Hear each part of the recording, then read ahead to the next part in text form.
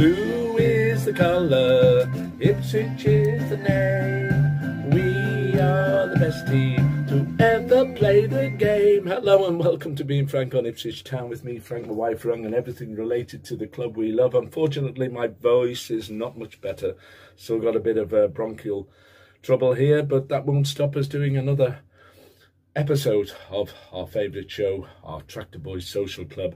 And Andy Molnar, the guy that uh, very kindly, kindly gave us uh, those season tickets uh, last last season, he's in Amsterdam at the moment. I might try and get to see him, but if we don't, I hope you have a great time, Andy, from Boston, Massachusetts, and I hope um, that you uh, get to the museums and all the things you want to do, even if it's not with us. Okay, well, take care, my friend. And we have a new subscriber to mention here, and his name is Locker Benz.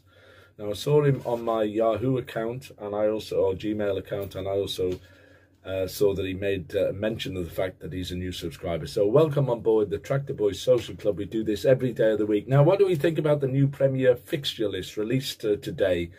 Liverpool under new uh, head coach Arne Slot, who was the Feyenoord uh, manager. He uh, will be taking his first game at Portman Road, and then we have Chelsea away. Well, I think it's a pretty good idea.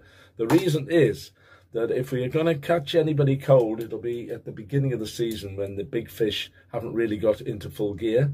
So I think it's far better to play them now than later in the season. What do you think on the, that topic? I think it's a great start to play Liverpool at home with a new manager and then Chelsea away. Well, Chelsea a bit unpredictable at the best of times and they didn't start too well last season, did they, as far as I can recall.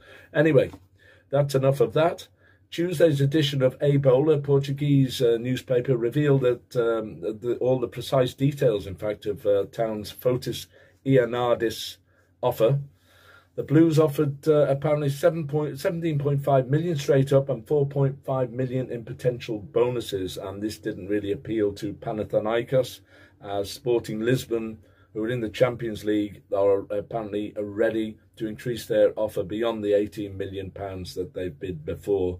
So if he's going to go anywhere, it's more than likely he would head there and not here, although he does want to play in the Premier League, apparently. Don't know enough about the player uh, to really say with any degree of uh, accuracy would he be a good signing for Town. I think there's better choices out there, in my opinion. And manager Kieran McKenna says he's delighted to be one the one to lead Ipswich Town back into the Premier League and says that the opening set of fixtures are a fantastic start to life back in the top flight of English football. I think we'd all agree with that. All right, what we say, darling?